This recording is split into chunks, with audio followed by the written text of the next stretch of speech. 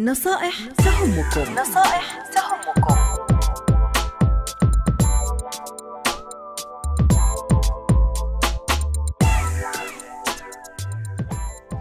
نصائح تهمكم ونصائحنا اليوم عن ضرورة العلاقات المهنية وأهمية هذه العلاقات لك في عملك.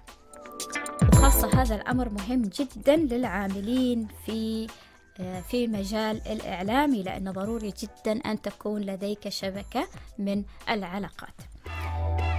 يستخف الكثير من الموظفين بأهمية شبكة العلاقات التي ينسجونها مع غيرهم. فيما يعيرها آخرون أهمية كبرى لما لها من منفعة على المدى الطويل في حياة الشخص المهنية. فشبكة علاقاتك المؤلفة من زملائك والمعارف جراء محيطك المهني ومر وأيضا مرورك بمرحلة الدراسة مهمة بما إنها قائمة على علاقات مهنية داعمة ومشجعة. شبكة علاقاتك تساهم في تقدمك المهني. يرى الكثير من المهنيين إن ما تساعد في شبكة علاقاتهم المهنية هو تأمينهم لمعارف يمكنهم اللجوء إليهم خلال بحثهم عن وظيفة. لكن مساهمة هذه الشبكة في تقدمهم أكثر بكثير من ذلك وتتخلص تتلخص في الآتي. أولا اختيار المهنة.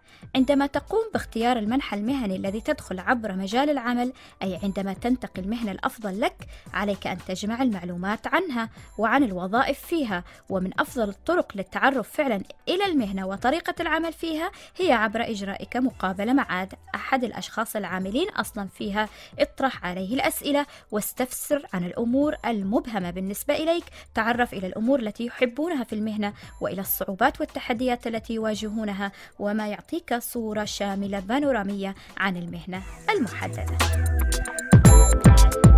توظيف الأفضل إذا كنت مسؤول الموارد البشرية في شركة معينة فأنت تعلم كم أن مسألة اختيار الموظفين الأنسب دقيقة ومتعبة. هذا ما يفسر الراحة التي يشعر بها عندما تلجأ إلى شبكة علاقاتك للتحري عن الشخص الراغب في الوظيفة أو عندما تطلب من معارفك طرح أسماء أشخاص مؤهلين لتحمل واجبات الوظيفة الشاغرة.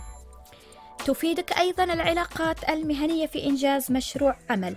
قد تكلف بمشروع عمل يتطلب منك خبرة في مجال معين أو ناحية معينة لا خبرة لديك فيها. وفي أغلب الأحيان من, سي... من يساعدك هو شخص من شبكة علاقاتك المهنية أو أن شخصا من هذه الشبكة يقترح اسم أحد أصدقائه أو معارفه من شبكته الخاصة فالعلاقات المهنية تتشابك في نهاية المطاف مشكلة خيوط عنكبوتية شبيهة بالشبكة الإلكترونية.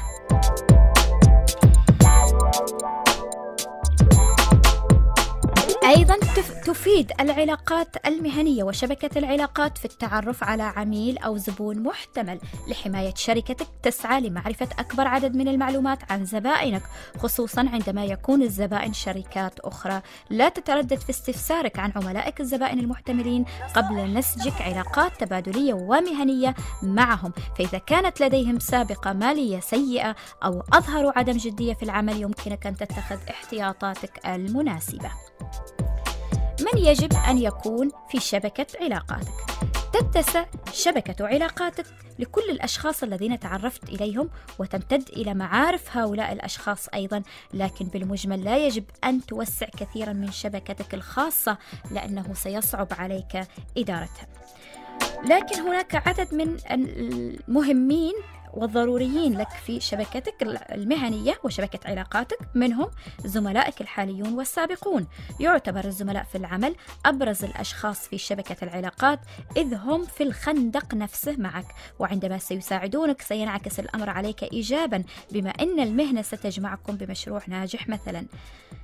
ما ما يشرح تحالف الزملاء لافتتاح مشروع عمل مستقل في الكثير من الأحيان كما ذكرت إحدى الصحف الأمريكية. لكن عليك الانتباه من الزملاء الحاسدين لأنهم سيظهرون أنهم في موقع داعم لك فيما هم في موقع منافس لك ولا يستحقون ثقتك بهم.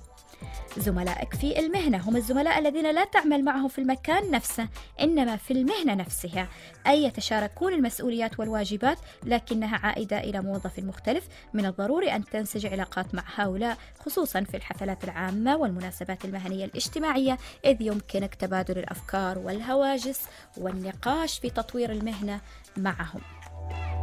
نصائح المدربون والأساتذة الجامعيون وزملاء الدراسة لا يجوز أن تنقطع كليا عن فترة دراستك الجامعية فأنت أسست لمهنتك ومستقبلك خلالها حافظ على عدد معين من العلاقات الوثيقة مع زملائك في الصف وظل على اتصال بمدربيك وأساتذتك لما يتمتعون من خبرة يفيدونك منها عبر النصائح والاقتراحات. كن دائما شاكرا لهم وعد إلى تلك المرحلة كلما شعرت أنك تجنح عن الخط الذي رسمت لحياتك المهنية فهي المرحلة الأساسية حيث كنت مندفعا للعمل ولدخول مجال المهنة.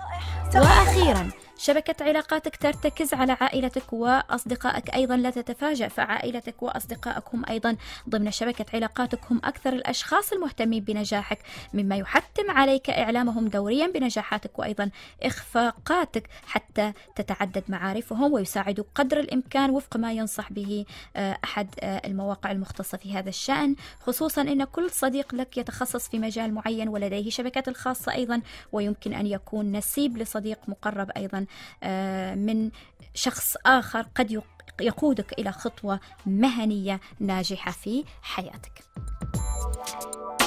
إذا علينا أن نحتفي بشبكة علاقاتنا ونوسع هذه آه، الدائرة قدر الإمكان عندما آه، لأنها مهمة وضرورية لنا في مختلف مجالات العمل. لكن أيضا إدارة شبكة العلاقات بحكمة وأيضا بطريقة آه، خاصة حتى لا تتسع وب- وبالتالي يصعب عليك السيطرة.